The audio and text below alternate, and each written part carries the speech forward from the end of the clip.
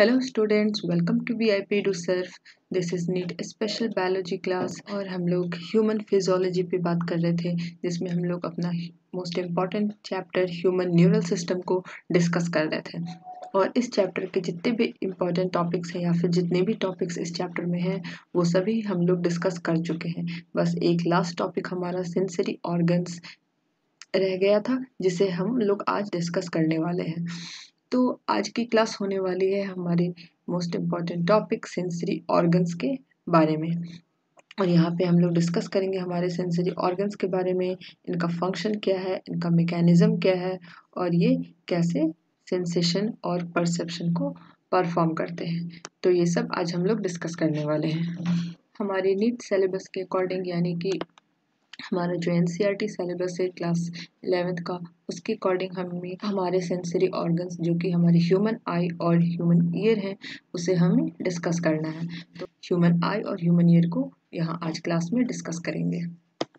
तो फिर चलिए स्टार्ट करते हैं आज का क्लास हम लोग जानते हैं कि हमारे नर्वस सिस्टम को इनपुट प्रोवाइड कहाँ से होता है? तो हमारे नर्वस सिस्टम को जो इनपुट प्रोवाइड होता है, वो हमारे सेंसरी रिसेप्टर्स ही प्रोवाइड करते हैं। यानी कि जो हमारे सेंसरी रिसेप्टर होते हैं, वो जो कुछ भी सेंसरी स्टिमुलस जैसे कि टच हुआ sound light pain cold warm या फिर जो भी सेंसेशन है, जो भी स्टिमुलस हमें हमारे बॉडी को फील होता है, यानी सेंसेशन होता है, उन स्टिमुलस को डिटेक्ट करने वाला ही कौन है? हमारा सेंसरी रिसेप्टर होता है। और यही सेंसरी रिसेप्टर हमारे नर्वस सिस्टम को इनपुट प्रोवाइड करते हैं, जिससे कि हमारे नर्वस सिस्टम उस इनपुट टुवर्ड्स अपना आउटपुट शो करते हैं। और फिर हमारा जो बेसिक मैकेनिज्म होता है सेंसेशन और रिसेप्शन का, वो परफॉर्म हो पाता है। तो यही बात है कि sensory organs are highly specialised and contain sensory neurons adapted to respond to specific stimulant conduct the nerve impulse to brain यही बात अभी मैंने बताई है कि सेंसरी ऑर्गन्स स्पेशलाइज्ड होते हैं। क्यों? क्योंकि उनमें सेंसरी न्यूरॉन्स पाए जाते हैं जो कि एडप्टेड होते हैं। इसलिए किस लिए एडप्टेड होते हैं? तो स्पेसिफिक स्टिमुलस को डिटेक्ट करते हैं और फिर वो नर्व इम्पल्स को कंडक्ट करते हैं जिससे कि हमारा जो ब्रेन है, जो आउटपुट है, वो शो करता है। और सेंस ऑर्गन को इसीलिए विंडो फॉर द ब्रेन भी कहा गया है। विंडो फॉर द ब्रेन कहने का मतलब ये है कि ये हमारे बॉडी का विंडो के तौर पे, यानी कि हमारे ब्रेन के लिए ये विंडो है। क्यों? क्योंकि इसी से हमारे जो इन्वायरमेंट में जो कुछ भी हो रहा है, जिस, जिसे हम फील कर पाते हैं सेंस कर पाते हैं, वो इन सेंस ऑर्गन के थ्रू ही हम सेंस कर पाते हैं। तो विंडो का जो वर्क होता है बेसिकली यही होता है कि हम हमारे घर के बाहर यानी कि हमारे रूम के बाहर जो क्या कुछ हो रहा है, उसे हम देख पाते हैं। तो इसीलिए ब्रेन का विंडो कहा गया हमारे सेंस ऑर्गन्स को, क्योंकि यही है जो हमारे बाहर जो कुछ भी हो रहा है, उसे वो सेंस करते हैं सेंसरी ऑर्गन्स अभी मैंने बात की थी कि सेंस करने के लिए सेंसरी रिसेप्टर्स होते हैं, हमारे सरफेस पे प्रेजेंट होते हैं बॉडी के, जो कि सेंस को रिसीव करते हैं, यानी कि रिसेप्ट कर पाते हैं डिटेक्ट कर पाते हैं। तो रिसेप्टर्स को अगर क्लासीफाई किया जाए बेसिकली फाइव टाइप्स के हैं। पहला है हमारा मेकेनो रिसेप्टर्स जो कि हमारे मैकेनिकल कंप्रेशन यानी कि जो स्ट्रेचिंग होती है रिसेप्टर्स की या टिश्यू की, उनको डिटेक्ट करते हैं। फिर सेकेंड है हमारा thermo receptor thermo receptor detect the change in temperature और थर्मल रिसेप्टर जो है वो कि जो हमारे इन्वायरमेंट में जो टेम्परेचर में चेंजिंग आ रही है, उसे डिटेक्ट करते हैं। जैसे कि कोल्ड या फिर वार्म जो कुछ जैसा भी हमारा इन्वायरमेंट है, उसे डिटेक्ट करने के लिए, यानी कि टेम्परेचर की चेंजिंग को डिटेक्ट करने के लिए हमारे बॉडी में प्रेजेंट होते हैं थर्मो रिसेप्टर्स और फिर थर्ड है हमारा पेन रिसेप्टर्स जिसे हम लोग नौकाई रिसेप्टर्स भी बोलते हैं। ये डिटेक्ट करते हैं डैमेज जो कि हमारे टिश्यू में होता है चाहे वो फ़िज़िकल डैमेज हो या फिर केमिकल डैमेज हो, उसे डिटेक्ट करते हैं और फिर जो पेन का जो सेंसेशन है वो क्रिएट करते हैं। फोर्थ हमारा होता है इलेक्ट्रोमैग्नेटिक रिसेप्टर्स तो इलेक्ट्रोमैग्नेटिक रिसेप्टर्स जो हैं, वो डिटेक्ट करते हैं लाइट को। लाइट को डिटेक्ट करते हैं हमारे आई के रेटिना पे। और फिर फिफ्थ है हमारा कीमो रिसेप्टर्स तो chemo receptors detect taste in mouth smell in nose oxygen level in arterial blood and molality of the body fluid फिर कार्बन डाइऑक्साइड कंसनट्रेशन और भी कुछ फैक्टर्स जो कि हमारे बॉडी के केमिस्ट्री को मेकअप करते हैं। उन सबको डिटेक्ट करने वाला कौन है? हमारा कीमो रिसेप्टर तो इस तरह से हम देखें कि बेसिकली फाइव टाइप्स के सेंसरी रिसेप्टर्स हैं जो कि प्रेजेंट होते हैं। Mechano receptor thermo receptor pain receptor electromagnetic receptor and chemo receptors तो ये बात हो गई रिसेप्टर्स की, जो हमारे डिफरेंट सेंस के लिए रिस्पॉन्सिबल है, उन सब की बात हो गई। अब हम बात करते हैं कि एक प्रिसाइज पाथवे की, जो कि इम्पल्स जो सेंसेशन में क्रिएट होता है, उन, वो जो एक पाथवे फॉलो करते हैं, उनकी बात करते हैं। तो इनमें रिसेप्टर्स इन्वॉल्व होते हैं, जो कि चेंज को डिटेक्ट करते हैं। और फिर जनरेट करते हैं क्या इम्पल्स को। और ये बहुत ही स्पेसिफिक होते हैं। स्पेसिफिक कहने का सेंस यहाँ पे ये है, जो एक रिसेप्टर होते हैं, वो किसी एक ही टाइप के स्टिमुलस के लिए सेंसिटिव होते हैं। कहने का मतलब ये है कि एक रिसेप्टर एक तरह के स्टिमुलस के लिए सेंसिटिव होते हैं। मतलब कि जैसे कि हमारे रॉड्स और कॉन्स हमारे आई में प्रेजेंट होते हैं रेटिना में तो वो जनरली सेंसिटिव होते हैं लाइट के लिए। कहने का मतलब कि वो लाइट को डिटेक्ट करते हैं और उसके रिस्पॉन्स में अपना, उसके टुवर्ड्स वो अपना रिस्पॉन्स शो करेंगे। ऐसा नहीं है कि वो टेम्परेचर के लिए रिस्पॉन्सिबल है। तो यही यहाँ पे बोला गया है कि receptors are usually very specific एक टाइप के रिसेप्टर्स एक टाइप के सेंस के लिए, यानी कि एक टाइप के चेंजिंग के डिटेक्शन के लिए सेंसिटिव होते हैं। फिर है सेंसरी न्यूरॉन्स है इस पाथवे में इन्वॉल्व सेंसरी न्यूरॉन्स वही होते हैं जो कि ट्रांसमिट करते हैं। जो इम्पल्स यहाँ पे जनरेट हुआ है, उस इम्पल्स को वो ट्रांसमिट करते हैं रिसेप्टर से हमारे सीएनएस तक। और फिर यही सेंसरी न्यूरॉन्स है जो कि हमारे स्पाइनल नर्व्स और क्रेनियल नर्व्स में पाए जाते हैं। फिर हमारा सेंसरी ट्रैक सेंसरी ट्रैक कैसे इन्वॉल्व है? तो ये हमारे स्पाइनल कॉर्ड और ब्रेन का जो व्हाइट मैटर होता है, वही सेंसरी ट्रैक कहलाता है और यही ट्रांसमिट करते हैं इम्पल्स को स्पेसिफिक पार्ट ऑफ़ ब्रेन में। कहने का मतलब कि जितने हमारे जो ब्रेन के डिफरेंट पार्ट्स हैं, वो अलग अलग तरह के सेंस के लिए रिस्पॉन्स के लिए रिस्पॉन्सिबल होते हैं। तो यहाँ पे जो व्हाइट मैटर प्रेजेंट होता है हमारे स्पाइनल कॉर्ड या फिर ब्रेन में तो उन, वहाँ पे ये, वो क्या करते हैं कि इम्पल्स को स्पेसिफिक पार्ट में ट्रांसमिट करते हैं। जैसे कि हमारा जो ऑसिपटल लोब है, जो हम लोग जानते हैं कि वो हमारे विजुअल सेंसेशन के लिए रिस्पॉन्सिबल है। तो वही यहाँ पे कहा गया है कि वो ट्रांसमिट करते हैं इम्पल्स को स्पेसिफिक पार्ट में। जिस, जैसा हमारा सेंस है, यानी कि जैसा स्टिमुलस है, उसके लिए जो रिस्पॉन्स होना चाहिए, उसके स्पेसिफिक हमारे ब्रेन के पार्ट में वो ट्रांसमिट करते हैं। तो वो कौन करते हैं? तो हमारे सेंसरी ट्रैक करते हैं। फिर हमारा लास्ट सेंसरी एरियाज़ तो ये सेंसरी एरियाज़ वही एरियाज़ की बात हो रही है जो यहाँ पे कहा गया स्पेसिफिक पार्ट तो ये सेंसरी एरिया जो कि हमारे सेरिब्रल कॉर्टेक्स में मेनली प्रेजेंट होते हैं और ये एरिया ही इंटरप्रेट करते हैं सेंसेशन को। पहले फील फील करते हैं सेंसेशन को और फिर इंटरप्रेट करते हैं, यानी कि आउटपुट प्रोवाइड करते हैं। तो इस तरह से हम देखें यहाँ पे कि सेंसरी पाथवे जो इम्पल्स का जो पाथवे है, वो एक किस वे में फॉलो हो रहा है। इसमें इन्वॉल्व हमारे रिसेप्टर है सेंसरी न्यूरॉन्स हैं सेंसरी ट्रैक है और सेंसरी एरियाज़ है। अब हम लोग बात करते हैं ह्यूमन आई की, जिसे हम लोग को यहाँ पे डिस्कस करना है। ह्यूमन आई आई भी हमारा सेंस ऑर्गन है, जो कि बहुत ही इंपॉर्टेंट है। तो आई हमारा जो लोकेटेड होता है, वो हमारे स्कल के अंदर सॉकेट में लोकेटेड होता है, जिसे हम लोग ऑर्बिट बोलते हैं। आई बॉल आप यहाँ पे डायग्राम में देख सकते हैं, ये हमारा आई बॉल है, क्योंकि आई जो हमारा वो बॉल के शेप का होता है, ये आई बॉल जो है एडल्ट का एसेंशियली स्फेरिकल होता है शेप में और अप्रॉक्सीमेटली इसका जो डायमीटर है 25 फाइव mm होता है, यानी कि रफली वन इंच इसका डायमीटर होता है। आई बॉल के जो वॉल्स हैं, वो थ्री लेयर्स के कंपोज होते हैं। आउटर लेयर जिसे हम लोग स्केलेरा बोलते हैं मिडिल जिसे हम लोग कोराइड लेयर बोलते हैं, और इनर लेयर ही हमारा रेटिना कहलाता है।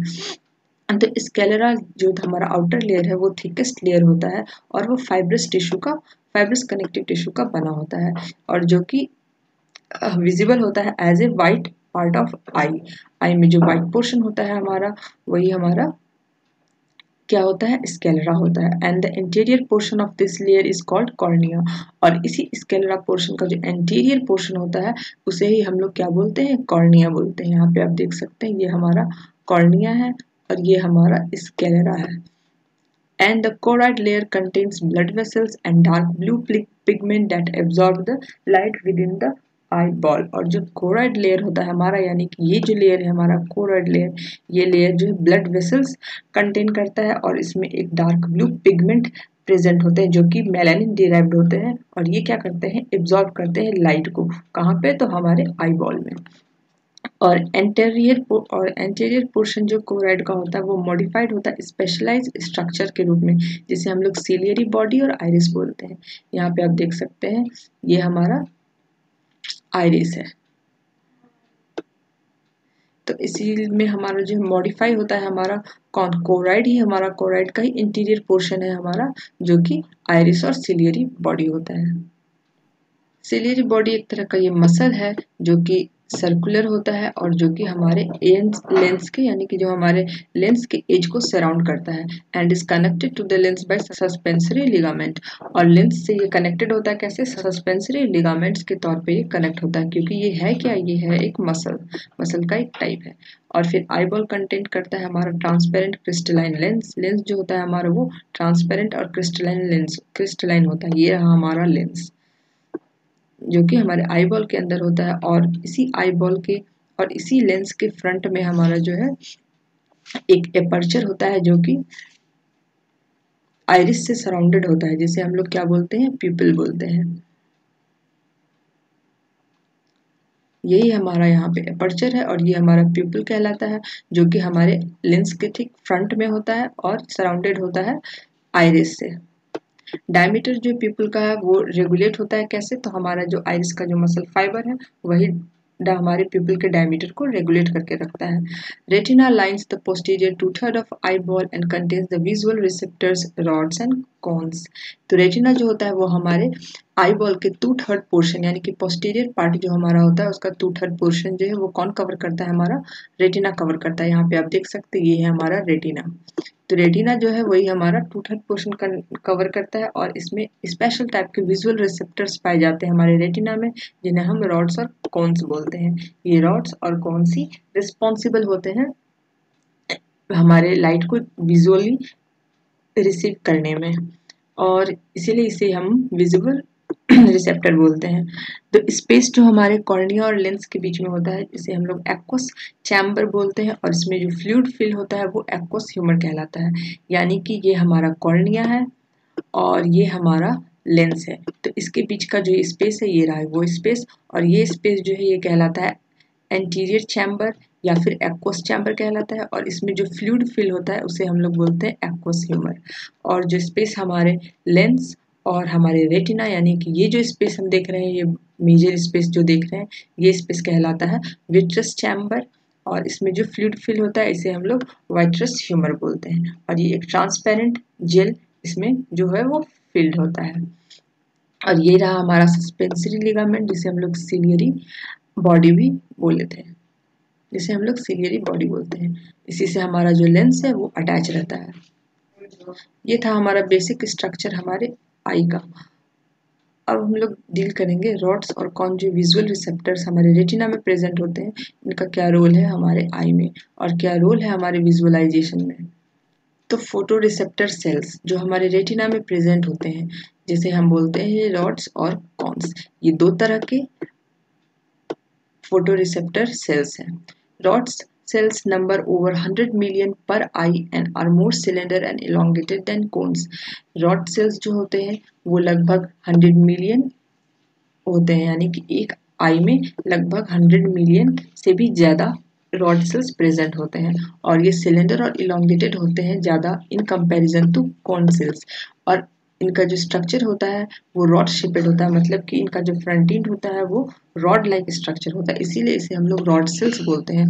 और कोन जो होता है, वो हमारा, उसका जो इंटीरियर पोर्शन होता है, वो कोन के शेप का होता है। इसीलिए इसका नाम जो है, वो रखा गया है कॉन सेल्स ताकि हम इसके स्ट्रक्चर को इसके नाम से आइडेंटिफाई कर सकें। तो रॉड सेल्स जो होते हैं, वो प्रेजेंट होते हैं कहाँ? हमारे रेटिना के पेरीफेरल पार्ट में प्रेजेंट होते हैं कौन तो रॉड सेल्स और ये रिस्पॉन्ड करते हैं डिम लाइट को। अब ये क्या क्रिएट करते हैं? तो ब्लैक एंड व्हाइट विजन को ब्लैक एंड व्हाइट विजन के लिए ये रिस्पॉन्सिबल होते हैं। कौन रिस्पॉन्सिबल होते हैं ब्लैक एंड व्हाइट विजन के लिए? तो वो है हमारे rod cells rod contain purplish red protein जिसे हम लोग बोलते हैं रोडोप्सिन या फिर विजुअल पर्पल ये एक प्रोटीन है जो कि हमारे रॉड सेल में प्रेजेंट होता है और ये डेरिवेटिव है विटामिन ए का। इसलिए इसलिए हम लोग रेटिनल भी बोलते हैं। और कौन सेल्स जो होते हैं, वो हमारे रॉड सेल के कंपैरिजन में काफ़ी कम होते हैं। इनका जो नंबर है अबाउट सेवन मिलियन पर आई होता है और ये हम हमारे डे लाइट कलर विजन के लिए रिस्पॉन्सिबल होते हैं। थ्री टाइप्स के कौन सेल्स पाए जाते हैं? और इन सब का एक अपना ओन कैरेक्टरिस्टिक है, क्योंकि इनमें एक सब में अलग अलग फ़ोटो पिगमेंट्स प्रेजेंट होते हैं, जो कि रिस्पॉन्ड करते हैं रेड ग्रीन और ब्लू लाइट के लिए। तो रेड ग्रीन और ब्लू लाइट के लिए ये तीनों जो कौन सा, ये रिस्पॉन्सिबल होते हैं और इनमें जो फ़ोटो पिगमेंट प्रेजेंट होते हैं, वो इन सबको रिस्पॉन्स करते हैं। और हमारा जो कौन सेल्स है, वही हमारे कलर विजन के लिए रिस्पॉन्सिबल होता है। जो कौन सेल्स कंसनट्रेटेड होते हैं in the depression near the centre of retina known as fovea centralis cones cells जो है, वो कंसनट्रेटेड होते हैं। कहाँ पे? तो हमारे रेटिना के सेंटर पे एक डिप्रेशन पाया जाता है। वहाँ पे फो जिसे हम लोग फोबिया सेंट्रलिस बोलते हैं। वहाँ यहाँ पे हम देख सकते हैं, ये हमारा रेटिना है और रेटिना का ये सेंट्रल पार्ट है। और यहाँ पे देख सकते हैं, ये रहा डिप्रेशन और ये जो डिप्रेशन है, जिसे हम लोग फोबिया सेंट्रलिस बोलते हैं, और यहीं पे हमारे कौन सेल्स जो है, वो बेसिकली कंसंट्रेटेड होते हैं। Fovea centralis is surrounded by yellowish macular lutea which also has a abundance cones cells और कोफेबुल और फोबिया सेंट्रलिस जो वो सराउंडेड होते हैं हमारे येलोइश मैकुला से, और ये भी यहाँ पे भी कौन सेल्स का जो नंबर है, वो काफ़ी ज़्यादा पाया जाता है। There are no photo receptor in the area where optic nerve is attach to the eye ball जहाँ पे ऑप्टिक नर्व हमारे आई बॉल से अटैच होता है, वहाँ पे कोई भी फ़ोटो रिसेप्टर नहीं पाया जाता है। इसलिए इस एरिया को हम लोग ब्लाइंड स्पॉट भी बोलते हैं, क्योंकि यहाँ पे कोई फ़ोटो रिसेप्टर प्रेजेंट नहीं होता है। और इसे हम लोग बोलते हैं ऑप्टिक डिस्क और इस एरिया को हम लोग ऑप्टिक डिस्क बोलते हैं। ब्लाइंड स्पॉट क्यों बोलते हैं? क्योंकि यहाँ पे कोई फ़ोटो रिसेप्टर प्रेजेंट नहीं होते। और ये ब्लाइंड स्पॉट होता कहाँ पे है? तो ये ऑप्टिक नर्व जहाँ पे हमारे आई बॉल से अटैच होते हैं। उस एरिया को हम लोग बोलते हैं ब्लाइंड स्पॉट इस बात को हम लोग रिमेम्बर रखेंगे। अब हम लोग बात करेंगे मैकेनिज्म ऑफ़ विजन की। बेसिक स्ट्रक्चर देख ली हमारे आई का क्या है? अब देखेंगे कि विजन कैसे होता है। कैसे हम देख पाते हैं? इसके पीछे क्या प्रोसेस है? तो फ़ोटो रिसेप्टर सेल न्यूरॉन्स जो होते हैं, यानी कि रॉड और कॉन सेल्स जो होते हैं, वही है फंक्शनल यूनिट हमारे साइड के, यानी कि देख पाते हैं हम इसके जो फंक्शनल यूनिट क्या है तो रॉड और कॉन सेल्स जो कि फ़ोटो रिसेप्टर न्यूरॉन्स है। As it respond to light rays and produce nerve impulse यही है जो लाइट रेज को रिस्पॉन्ड करते हैं और प्रोड्यूस करते हैं क्या? तो nerve impulse light induces dissociation of retinal from opsin which leads changing in the structure of opsin और लाइट क्या करते हैं? ये रेटिनल का डिसोसिएशन करते हैं ऑप्सिन से और यहाँ पे स्ट्रक्चर में चेंजिंग आता है। किसके स्ट्रक्चर में? तो ऑप्शन के स्ट्रक्चर में चेंजिंग आता है। और पोटेंशियल डिफरेंस जो है वो जनरेट होता है फ़ोटो रिसेप्टर सेल्स में क्योंकि परमिएबिलिटी जो मेम्ब्रेन का है वो चेंज हो गया है। क्योंकि यहाँ पे ऑप्सिन का स्ट्रक्चर चेंज हुआ तो मेम्ब्रेन का परमिबिलिटी चेंज होगा और परमिबिलिटी चेंज होने की वजह से पोटेंशियल डिफरेंस जो है वो जनरेट होता है। कहाँ पे जनरेट होता है? तो हमारे फ़ोटो रिसेप्टर सेल्स में। और and this produces a signal that generate action potential और ये जो पोटेंशियल डिफरेंस क्रिएट हुआ, जिसकी वजह से एक्शन पोटेंशियल जनरेट होता है, कहाँ पे होता है? तो in ganglion cells through the bipolar cells and these action potential यानी कि इम्पल्स आर देन ट्रांसमिटेड और यही एक्शन पोटेंशियल जो है, जिसे हम इम्पल्स भी बोलते हैं, यही ट्रांसमिट होते हैं. और यही ट्रांसमिट सिग्नल यही हमारे यही हमारे सेंस को, यानी कि जो सेंस हम लोग डिटेक्ट कर पाए हैं, उसे ये इम्पल्स के तौर पे लेकर के जाते हैं फॉर्म में और ट्रांसमिट करते हैं हमारे ब्रेन को। तो impulse from rod and cones are transmitted to ganglion neurons these converge at optic disc and become the optic fibre और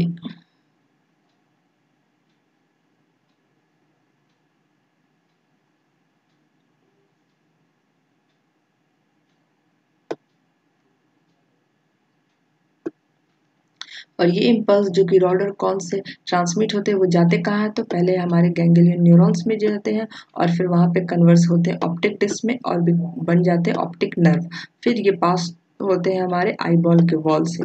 और ऑप्टिक नर्व जो कि हमारे बोथ आई से जो ऑप्टिक नर्व निकलता है, वो हमारा ऑप्टिक काजमा के पास पहुँचता है और यहाँ पे दोनों ही आई से निकलने वाले ऑप्टिक नर्व क्रॉस करते हैं एक दूसरे को और क्रॉसिंग की वजह से क्या होता है कि विजुअल एरिया जो है वो है, वो दोनों ही आई से निकलने वाले इम्पल्स को रिसीव कर पाते हैं। तो इसलिए ये क्रॉसिंग ओवर होना बहुत ही इंपॉर्टेंट है। ऑप्टिक नर्व का क्रॉसिंग ओवर होना इंपॉर्टेंट है, क्योंकि यही क्रॉसिंग की वजह से विजुअल एरिया जो होता है, वो दोनों ही आई से निकलने वाले इम्पल्स को रिसीव कर पाते हैं। और visual area are located in occipital lobes of cerebral cortex और हम लोग जानते हैं कि विजुअल एरिया कहाँ है? हमारे ब्रेन के सेरिब्रल कॉर्टेक्स के ऑसिपिटल लोब्स में ही विजुअल एरिया प्रेजेंट होता है, यानी कि यही जो एरिया है, वो विजुअल एरिया कहलाता है और जिससे कि हमारा जो मैकेनिज्म है विजन का, वो स्मूथली परफॉर्म हो पाता है। तो इस तरह से हम लोग देखें कि हमारा जो सेंस ऑर्गन ह्यूमन आई है, उसका बेसिक स्ट्रक्चर क्या है, इसमें इन्वॉल्व होने वाले कौन से सेल्स है फ़ोटो रिसेप्टर सेल्स के क्या रोल है, जो कि रॉड और कौन से इनका प्रेजेंस कैसा है, ये सब देखे स्ट्रक्चर के बारे में देखे और फिर मैकेनिज्म देखें विजन का। मैकेनिज्म कैसे होता है, इसमें कौन से पाथवे फॉलो होते हैं, ये हम लोगों ने देखा। मैकेनिज्म ऑफ़ विजन अभी हम लोग देखें तो इससे रिलेटेड डायग्राम यहाँ पे दिखाया गया है। ये ये रहा हमारा कोराइड है, ये रेटिना है और ये हमारा फोविया सेंट्रलिस है। यहाँ पे देख सकते हैं आपकी ऑप्टिक नर्व्स हैं, जो कि आ रहे ये सेंट्रल और रेटिनल आर्टरी वेन है हमारे। यही हमारा ब्लाइंड स्पॉट है ऑप्टिक डिस्क यहीं पे अटैचमेंट है और यही ब्लाइंड स्पॉट हमारा है। और ये हम देख रहे हैं सिलियरी बॉडी है हमारा। ये हमारा पोस्टीरियर कैविटी है, ये लेंस है कॉर्निया पीपल यहाँ पे आप डायग्राम में देख सकते हैं डायग्राम काफ़ी मॉडिफाइड डायग्राम है और अच्छे से यहाँ पे सब कुछ मेंशन किया गया है। हम लोगों ने ह्यूमन आई के स्ट्रक्चर को देखा, क्या रोल्स है उसमें फ़ोटो रिसेप्टर सेल्स जो प्रेजेंट होते हैं, उनका स्ट्रक्चर क्या है, उनका क्या फ़ंक्शन है, और फिर हमारा मैकेनिज्म कैसे परफॉर्म होता है विजन का इसे हम लोगों ने देखा रिलेटेड डायग्राम को अच्छे से स्टडी किया, और आज, और अब हम लोग अपने नेक्स्ट सेंस ऑर्गन जो कि हमारे सिलेबस के अकॉर्डिंग हमारा ह्यूमन ईयर है, उसे हम लोग डिस्कस करेंगे। तो human ear ear is the organ of hearing and equilibrium ear हमारा हियरिंग और इक्विलिब्रियम का ऑर्गन कहलाता है। इसमें रिसेप्टर्स होते हैं जो कि हमारे साउंड वेव को कन्वर्ट करते हैं नर्व इम्पल्स में। और ह्यूमन आई में जो रिसेप्टर्स थे, वो हमारे लाइट वेव को, यानी कि लाइट रेस को कन्वे कर रहे थे, हमारे कन्वर्ट कर रहे थे नर्व इम्पल्स में। और यहाँ पे साउंड वेव को यहाँ पे साउंड वेव का कन्वर्जन होगा नर्व इम्पल्स में। Ear consist mainly three principal region ear में मेनली थ्री प्रिंसिपल रीजन होते हैं, जिसे हम लोग बोलते हैं outer ear middle ear and inner ear तो आउटर ईयर की बात की जाए तो आउटर ईयर में ऑरिकल यानी कि पिन्ना होता है और फिर हमारा एक्सटर्नल ऑडिटरी मेटस जिसे हम लोग एक्सटर्नल अकॉस्टिक कैनाल भी बोलते हैं। यहाँ पे आप देख सकते हैं, ये रहा हमारा ऑरिकल जिसे हम लोग पिन्ना बोलते हैं। और ये है हमारा एक्सटर्नल ऑडिटरी कैनाल ये रहा हमारा एक्सटर्नल ऑडिटरी कैनाल यही हमारा आउटर एरिया आउटर ईयर को आउटर ईयर फॉर्म करता है। पिंडा क्या करता है कि कलेक्ट करता है वाइब्रेशन को in the ear which produces sound और इस वाइब्रेशन को ये कलेक्ट करता है कौन? तो हमारा ऑरिकल और इसी से हमारा साउंड प्रोड्यूस होता है। और स्ट्रक्चर जो ऑरिकल का है, वो डायरेक्ट साउंड वेव को करता है कहाँ? तो हमारे एक्सटर्नल ऑकोस्टिक कैनाल में, यानी कि ऑरिकल से हमारा जो साउंड वेव है, वो कलेक्ट होता है और फिर वो जाता कहाँ है? तो हमारे एक्सटर्नल ऑकोस्टिक कैनाल की तरफ़। और एक्सटर्नल ऑकोस्टिक कैनाल जो है वो स्लाइटली एस शेप का होता है about two two 2.5 centimetre long and extend slightly upward from auricle to the tympanic membrane जिसे हम लोग ईयर ड्रम बोलते हैं। और ये एक्सटर्नल अकोस्टिक कैनाल ही हमारा ऑरिकल से लेकर के हमारे टेम्पैनिक मेम्ब्रेन तक एक्सटेंड करता है, यानी कि हमारे ईयर ड्रम तक। ये आप देख सकते हैं हमारा टेम्पैनिक मेम्ब्रेन है और ये हमारा ऑरिकल है तो यहाँ से एक्सटेंशन हुआ हमारे एक्सटर्नल ऑडिटरी कैनाल का और ये गया कहाँ तक? तो टेम्पैनिक कैविटी तक। टेम्पैनिक मेम्ब्रेन जो यहाँ पे प्रेजेंट है, यहाँ तक ये हमारा एक्सटेंड किया। कौन एक्सटेंड किया? तो हमारा एक्सटर्नल ऑकस्टिक कैनाल और स्किन जो कि हमारे कैनाल में प्रेजेंट होते हैं, उसमें फाइन हेयर्स होते हैं सीबेसिस ग्लैंड प्रेजेंट होते हैं और सीबेसिस ग्लैंड जो होते हैं, वो ईयर वैक्स सिक्रिट करते हैं, जिसे हम लोग सेरोमिन बोलते हैं और ये सिक्रेट होते हैं और ये क्या करते हैं, हमारे टेम्पेनिक मेम्ब्रेन को सॉफ्ट और वाटर प्रूफ बना के रखते हैं। यानी कि जो हमारा टेम्पेनिक मेम्ब्रेन है, इसके स्मूथ और वाटर प्रूफ होने के पीछे हमारे ईयर वैक्स का रोल है। ईयर वैक्स फ़ंक्शन करता है। ईयर वैक्स क्या है? तो सिरोमिन है, जो कि हमारे सीबीसेस ग्लैंड जो कि प्रेजेंट होते हैं हमारे अकोस्टिक कैनाल में, उनसे सिक्रीट होता है। और ये सीरोमिन और हेयर्स जो यहाँ पे प्रेजेंट होते हैं, वो स्मॉल फॉरेन ऑब्जेक्ट्स को भी हमारे टेम्पेनिक मेम्ब्रेन तक पहुँचने से रोकते हैं प्रिवेंट करते हैं। आउटर ईयर के बाद हम लोग बात करेंगे मिडिल ईयर की। तो मिडिल ईयर का जो पोर्शन है हमारा लेटरली कंप्रेस्ड होता है और ये एयर फिल्ड चैम्बर होता है, जिसे हम लोग टेम्पेनिक कैविटी बोलते हैं। टेम्पेनिक मेम्ब्रेन ये है और टेम्पेनिक मेम्ब्रेन के बाद ये हमारा एक कैविटी आता है, जिसे हम लोग टेम्पेनिक कैविटी बोलते हैं। ये हमारा मिडिल ईयर कहलाता है और टेम्पेनिक मेम्ब्रेन जो है वो थिन होता है डबल लेयर होता है, ये जो मेम्ब्रेन टेम्पेनिक मेम्ब्रेन है, वो डबल लेयर मेम्ब्रेन होता है थिन होता है और ये हमारा इपीथीलियल पार्टीशन प्रोवाइड करता है और लगभग ये वन सेंटीमीटर डायमीटर में होता है और ये प्रेजेंट कहाँ होता है? तो हमारे एक्सटर्नल ऑकस्टिक कैनाल और मिडिल लेयर के बीच में। यानी ये एक्सटर्नल ऑकस्टिक कैनाल और ये जो हमारा मिडिल ईयर का जो पोर्शन है, इसके बीच में ही हमारा प्रेजेंट कौन होता है? तो टेम्पैनिक मेम्ब्रेन जो कि डबल लेयर्ड स्ट्रक्चर है इपिथेलियल पार्टीशन ये क्रिएट करता है। और इट कंटेन्स मिडिल लेयर में हमारे थ्री ऑसिकल्स होते हैं, जिसे हम लोग मेलियस इनकस और स्टेप्स बोलते हैं, जो कि हमारे अटैच होते हैं एक दूसरे से चेन लाइक फ़ैशन में। यहाँ पे आप देख सकते हैं, ये रहा हमारा मेलस ये है हमारा इनकस और ये है हमारा स्टेप्स ये तीनों ही एक दूसरे से अटैच होते हैं, एक चेन की तरह से। Malleus is attach to tympanic membrane malleus जो है वो हमारे टेम्पेनिक मेम्ब्रेन से अटैच होता है और स्टेप्स जो है वो हमारा अटैच होता है हमारे ओवल विंडो से, जो कि हमारे कॉकलिया में प्रेजेंट होता है। और स्ट्यून ट्यूब जो कि हमें हमारे मिडिल ईयर कैविटी को मिडिल ईयर कैविटी को कनेक्ट करता है फेरेंग से और हेल्प करता है प्रेशर को इक्वलाइज करने में। यानी कि ईयर ड्रम के दोनों साइड ईयर ड्रम जो हमारा प्रेजेंट है ईयर ड्रम के दोनों साइड जो हमारा प्रेशर होता है एयर का, उसे इक्वलाइज करने में हेल्प कौन करता है हमारा? यही स्ट्यून ट्यूब करता है। ये रहा हमारा स्ट्यून ट्यूब ह्यूमन ईयर की इनर पोर्शन की बात की जाए, जो कि हमारा थर्ड पार्ट है तो एंटायर स्ट्रक्चर इनर ईयर का जो है वो कहलाता है क्या? लेबरिंथ और ये लेबरिंथ जो सेल्स में बटे होते हैं आउटर सेल्स जो कि डेंस बोन का होता है, जिसे हम लोग बोनी लेबरिंथ बोलते हैं, और जो सराउंड करता है प्रोटेक्ट करता है किसी मेम्ब्रेनस लेबरिंथ को। और स्पेस जो हमारे बोनी लेब्रेंथ और मेम्ब्रेनस लेब्रेंथ के बीच में होता है, उसमें एक फ्लूड पाया जाता है, जिसे हम लोग पेरी लाइन बोलते हैं। और within the tubular chamber of membranous labyrinth is yet another fluid called endolymph और इस मेम्ब्रेनस लेब्रेंथ के अंदर भी एक फ्लूड पाया जाता है। एक दूसरा फ्लूड जिसे हम लोग एंडोलाइम्फ बोलते हैं। Fluid provide liquid conducting medium for vibration. और फ्लूड जो है वो प्रोवाइड करता है क्या? वो एक लिक्विड मीडियम वो एक मीडियम वाइब्रेशन के लिए प्रोवाइड करता है, जो कि हमारे हियरिंग और मेंटेनेंस ऑफ़ इक्विलिब्रियम में इन्वॉल्व होता है। यानी कि ये जो एंडोलाइन फ्लूड बेलाइन फ्लूड है, यही हमारे वाइब्रेशन के मीडियम के फॉर्म में फ़ंक्शन करते हैं। और बोनी लैब्रिंथ जो है वो स्ट्रक्चरली और फंक्शनली डिवाइड होता है थ्री ईयर में। थ्री एरियाज़ में डिवाइड होते हैं। पहला हमारा वेस्टिब्यूल है सेकेंड एरिया हमारा सेमी सर्कुलर कैनल्स है और थर्ड एरिया ही हमारा कॉकलिया कहलाता है। ये हम देख सकते हैं डायग्राम में आप दिखाया गया ये है कॉकलिया ये है हमारा सेमी सर्किल कैनाल और ये है हमारा वेस्टिबुलर नर्व और यही जो है हमारा क्या फॉर्म करता है? तो ये हमारा बोनी लेबेंथ फॉर्म करता है। तो वेस्टिब्यूल की बात की जाए तो वेस्टिब्यूल क्या है? ये एक सेंट्रल पोर्शन है हमारे बोनी लेब्रिंथ का। इसमें वेस्टिबुलर ओवल विंडो पाए जाते हैं into which stapes fit और इसी में स्टेप्स जो हमारे वो फिटेड होते हैं। और कॉकलियर क्या है? विंडो क्या है? तो वो हमारे अपोजिट साइड में यहाँ पे प्रेजेंट होते हैं। कहाँ पे? तो वेस्टिब्यूल में। और मेम्ब्रेनस लेब्रिंथ जो कि हमारे वेस्टिब्यूल में होते हैं, उनमें दो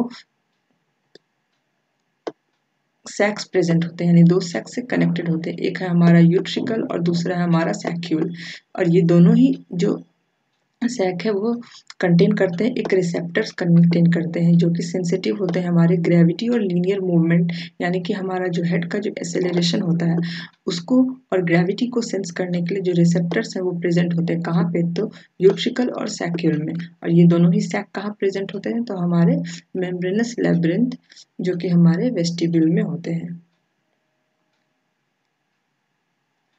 फिर हमारा सेकेंड सेमी सर्कुलर कैनाल तो ये हमारे वेस्टिबल के पोस्टीरियर पार्ट में प्रेजेंट होते हैं।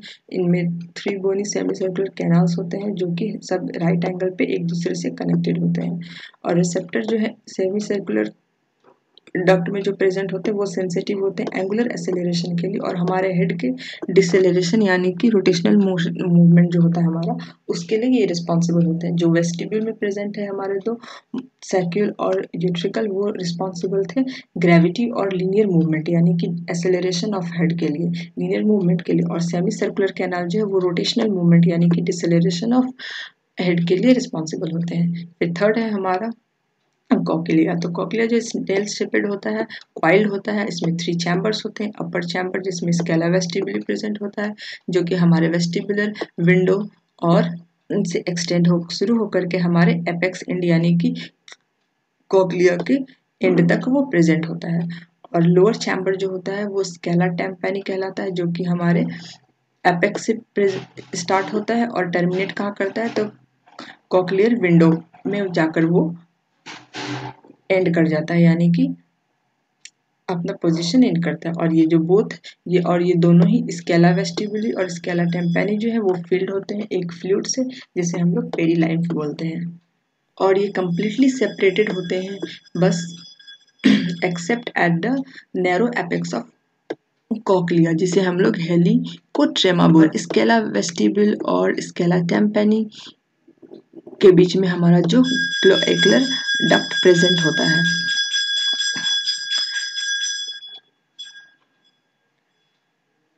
और ये जो डक्ट है, ये कैसा होता है? तो ट्रैंगुलर मिडिल चैम्बर होता है हमारे कॉकलिया का। कॉकलिया का जो हमारा ट्रैंगुलर मिडिल चैम्बर है, वही हमारा कॉकलियर डक्ट होता है और ये प्रेजेंट कहाँ होता है? तो इसके अलावा वेस्टिबल और इसके अलावा टेम्पेनिक के बीच में प्रेजेंट होता है। जो हमारे कॉकलियर डक्ट का जो रूफ होता है, उसे हम लोग वेस्टिबुलर मेम्ब्रेन बोलते हैं। और जो हमारा फ्लोर होता है, उसे हम लोग बेजिलर मेम्ब्रेन बोलते हैं। ये रहा हमारा बेजिलर मेम्ब्रेन आप यहाँ देख सकते हैं। ये हमारा बेजिलर मेम्ब्रेन है। यहाँ डायग्राम में दिखाया गया है। और ये जो कॉकलियर डक्ट है, वो फिल्ड होता है एंडोलाइफ से। और ऑर्गन ऑफ़ कॉर्टाई जो होता है, वो एक स्ट्रक्चर है, जो कि हमारे बेजिलर मेम्ब्रेन में प्रेजेंट होता है। ये हमारा बेजिलर मेम्ब्रेन है, इसमें ये हमारा ऑर्गन ऑफ़ कॉर्टाई प्रेजेंट है और इसमें स्पेशल हेयर सेल्स होते हैं जो कि ऑडिटरी रिसेप्टर के फॉर्म में वर्क करते हैं, यानी कि फ़ंक्शन करते हैं। तो ये हमारा बेसिक स्ट्रक्चर था ह्यूमन ईयर का, जिसे हम लोगों ने अभी देखा।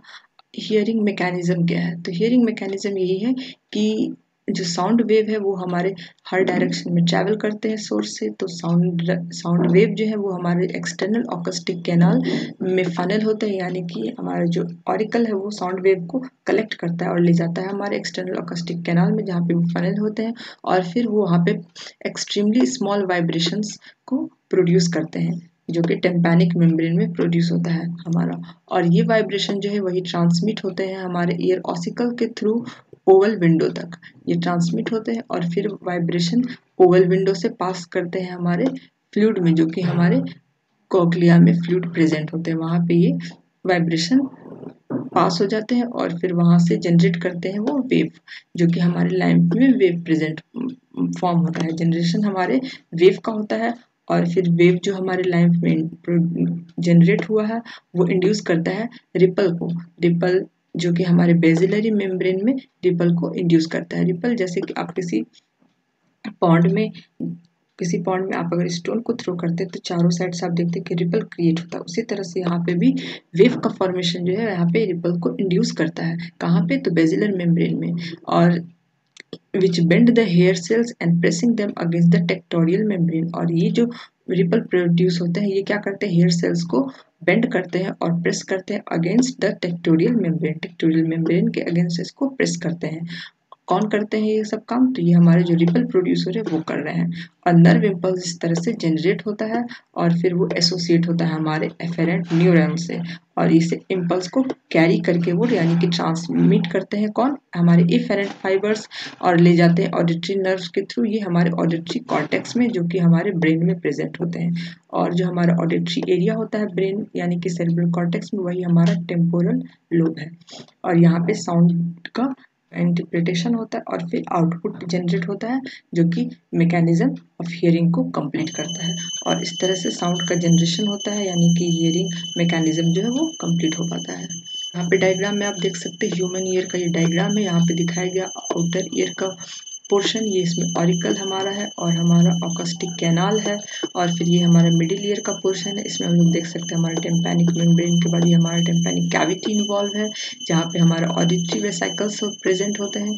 फिर ये हमारा इनर ईयर का पोर्शन है। इसमें हम देख सकते हैं यहाँ पे दिखाया गया सेमी सर्कुलर डक्ट है यहाँ पे। वेस्टिबुलर नर्व्स को दिखाया गया है। क्लोइकल नर्व है यहाँ पे, ये हमारा कॉकलिया है और ये कॉकलिया नर्व्स है यहाँ पे। ये हमारा टेम्पोरल बोन है। और यहाँ पे ऑडिटरी ट्यूब है, जिसे हम लोग इस, जिसे हम लोग स्टेन ट्यूब बोलते हैं। और ये हमारा ईयर लोब है। तो इस तरह से ये ह्यूमन ईयर का कंप्लीट डायग्राम है। तो आज की क्लास में हम लोगों ने हमारा जो सेंस ऑर्गन ह्यूमन आई और ह्यूमन ईयर है, इसे हम लोग डिस्कस किए यहाँ पे। ये बहुत ही इंपॉर्टेंट है। इससे क्वेश्चंस आते हैं। आप सब लोग इसे फिर से रीड कीजिएगा बुक से रीड कीजिएगा। यहाँ पे जो कंटेंट है, उससे रीड कीजिएगा और देखिए क्लियर है या नहीं। अगर कोई कन्फ्यूज़न रह जाती है तो आप उसे कमेंट सेक्शन में सकते हैं। आई होप आप सबको ये समझ में आया होगा। तो इस तरह से आज हमारा जो ह्यूमन न्यूरल सिस्टम चैप्टर था जो कि बहुत ही इंपॉर्टेंट चैप्टर है इससे अप्रॉक्स हर ईयर दो से तीन क्वेश्चन आते ही आते हैं। ये आज हम लोग का कंप्लीट होता है। नेक्स्ट क्लास में हम लोग अपना next important important chapter start करेंगे। तब तक के लिए आप अभी तक जितना भी कुछ पढ़ाया गया है उन सबको रीड कीजिए उन सबके उन सबका रिविज़न कीजिए और देखिए कि कोई कर, सब कुछ अच्छे से क्लियर है या नहीं है। ठीक? और अगर कोई कन्फ्यूज़न होगी तो आप ज़रूर पूछिएगा। आप मुझे फॉलो कर सकते हैं फेसबुक पेज पे इंस्टाग्राम पे भी फॉलो कर सकते हैं। लिंक आपको डिस्क्रिप्शन बॉक्स में मिल जाएगा। वहाँ पे भी आप किसी भी तरह की क्वेरी कर सकते हैं। कोई कन्फ्यूज़न हो तो वहाँ पे भी आप पूछ सकते हैं। तो फिर मिलते हैं नेक्स्ट क्लास में। और स्टार्ट करेंगे हम लोग अपना ह्यूमन फिजियोलॉजी का next important chapter thank you so much for watching this video do subscribe my channel like the video and if you have any doubt then ask in comment section and share this video more and more. Thank you so much